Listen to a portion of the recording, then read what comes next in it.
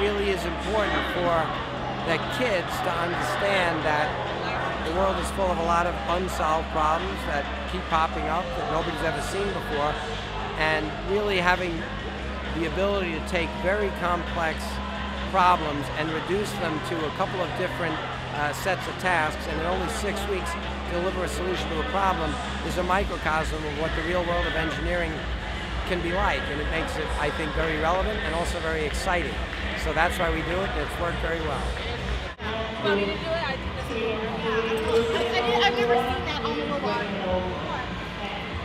Did they say 32 Did they just say 32 Hi, uh, I'm Kathy Rutherford. I am an electrical engineer and a biomedical engineer. I'm a senior IEEE member, and I have been involved as a first judge for six years in the Jersey Regional. And last year, as I was driving home from the Jersey Regional, I thought, I wonder if my old high school has a team. And my old high school is the Mary Louis Academy from Queens. And I called up, uh, I wrote them an email, and they got right back to me. They were excited, and they decided to have a team. They recruited Mr. Vinod Lala, who hopefully you'll meet. He's the uh, team mentor and coach, and he's done an unbelievable job with the girls, and uh, very dedicated. And I love the way the girls are all involved. And one year later, one exact year later, 365 days later, I'm here. They have a team. It's a viable team. I love it. I'm so excited. It's great. And they're moving on. And they're moving on, which I just found out, and I'm I'm so excited. It's great to be able to help put a program in place that you didn't have when you were a kid, and I am so excited to be able to bring this to these girls.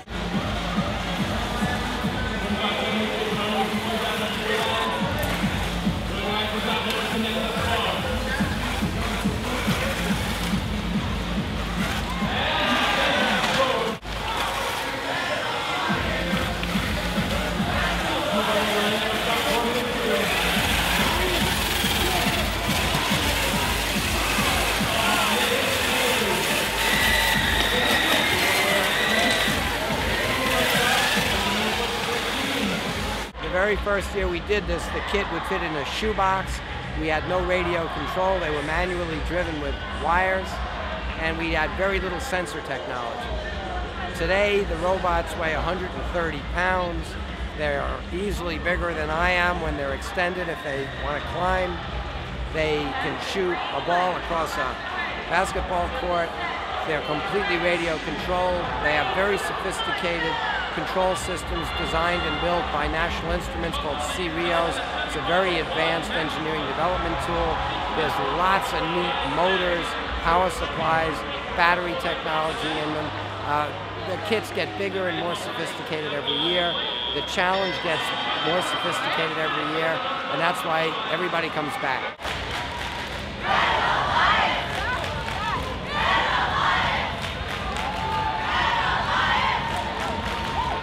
Think the thing I'm most proud of about FIRST isn't the robots or any particular technology. What I'm most proud of is the people.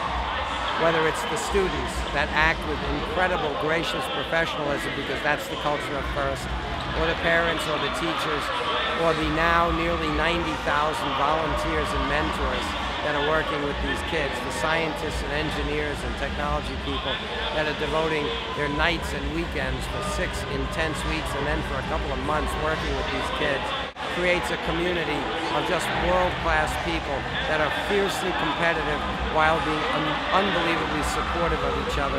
I only wish the rest of the world uh, could do it this well, but as we grow and spread, we will be a model for the world, and that's what I'm proud of.